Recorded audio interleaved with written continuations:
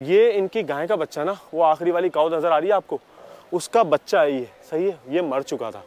इसको जब मैं मर गया मरने के बाद ना इन्होंने क्या करा कि इसकी गर्दन अलग कर दी और जो पूरा जिसम था ना वो शायद कहीं दे दिया या फिर रख दिया। खुद पहली बार भाई ये जो है ना ये देखें ये जी।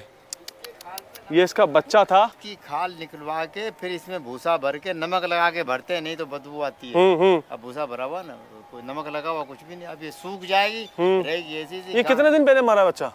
ये ट्रक में आई थी चार पाँच दिनों जब मरा ये। अरे हाय बच्चा मरा मरा हुआ निकला था? नहीं नहीं नहीं, ज़िंदा था। ज़िंदा था? हाँ यहाँ आके मरा। है यहाँ आके मर गया है।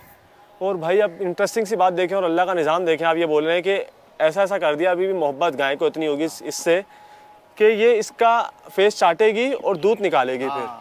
फिर यार क्या बात है। मैं पहली बार सुन रहा हूँ मेरे ख्याल से आप लोग भी बहुत सारे पहली पहली बार सुन रहे होंगे।